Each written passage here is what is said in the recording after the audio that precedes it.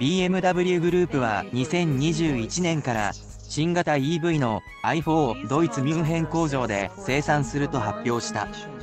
生産開始に向けた準備として、同工場を7月24日から9月7日まで休止し、製造ラインの改修などを行う。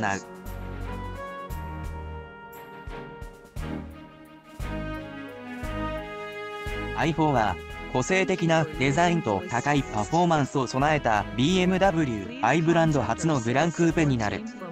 BMW i4 は BMW ブランドの4ドアクーペに共通するスポーティでエレガントなデザインに加えて優れたパフォーマンスを追求する BMW i4 用に開発された電動モーターは最大出力 530HP を発生する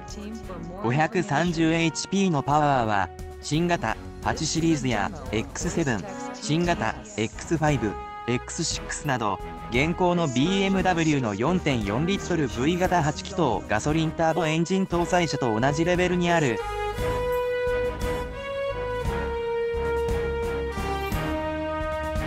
パワフルなモーターを得る i4 は0から 100kmh 加速およそ4.0秒最高速 200kmh 以上のパフォーマンスを実現する。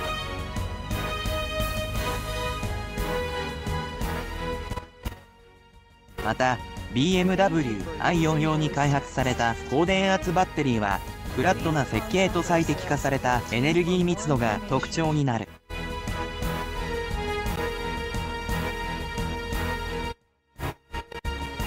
バッテリー単体の重量は約 550kg だ。蓄電容量はおよそ 80kWh と大容量でこれにより BMW i4 の1回の充電での航続は最大でおよそ 600km に到達する。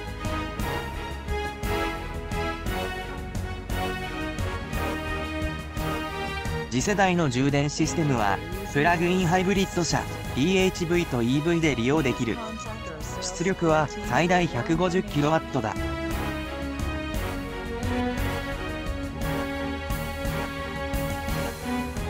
これにより BMW i4 の高電圧バッテリーはおよそ35分間で容量のおよそ80%分を充電できる。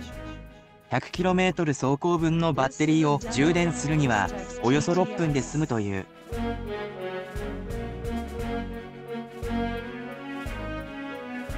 BMW コンセプト i4」コンセプト i4 はロングホイールベースファストバックのルーフライン。ショートオーバーハングが特徴だ。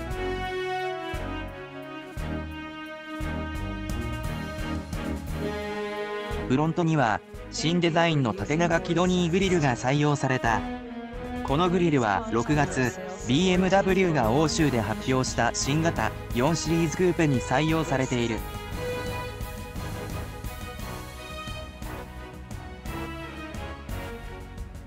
新型4シリーズクーペの電動版に位置づけられるコンセプト i4 にも垂直指向のキドニーグリルが装着された。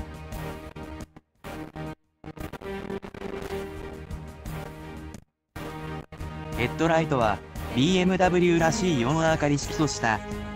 両側の2つの自立型 LED に照明機能を全て組み込んだ。グリルの周囲には BMW i スタイルのブルーアクセントが配されている。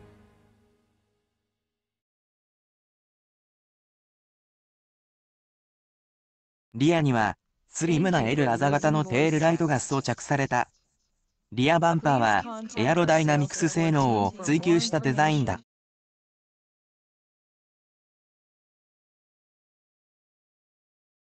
ディフューザーには BMW i ブルーのアクセントが添えられる。ホイールはコンセプト i4 専用デザインだ。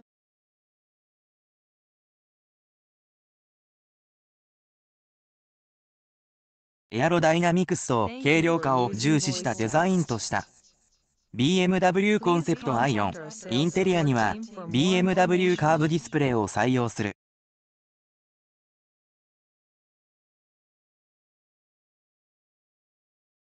情報ディスプレイとコントロールディスプレイが一体設計されドライバーの方向にわずかに角度をつけてレイアウトされた。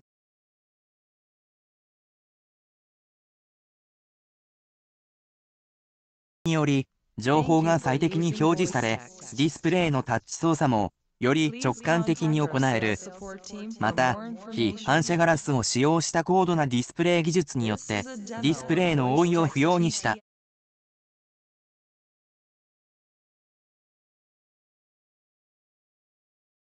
すっきりしたコックピットを可能にしている。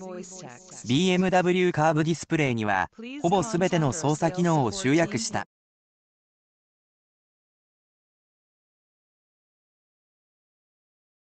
これにより、コントロールスイッチの数を最小限に減らすことを可能にした。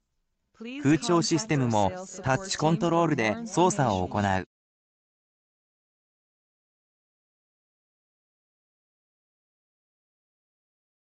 ブロンズブレンドとクロームのアクセントを配した。シフトレバーはトグルタイプのシフターに置き換えられる。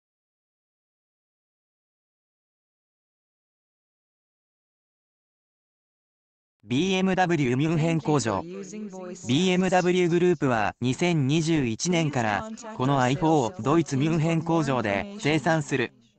生産開始に向けた準備として同工場を7月24日から9月7日まで休止し製造ラインの改修などを行う予定だ。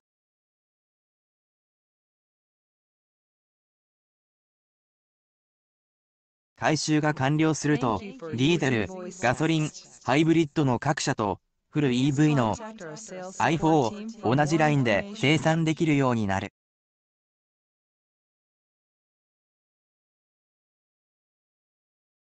BMW i4 の高電圧バッテリーは車両の下側から取り付けられる。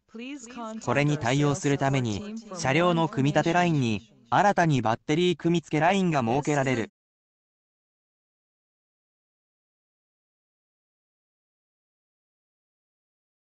新しいシステムを設置するだけでなく、既存の生産設備も改修される。これにより、燃焼エンジンとハイブリッドの BMW3 シリーズセダンと3シリーズツーリング、次期 M3 セダン、i4 が同じラインで生産される、としている。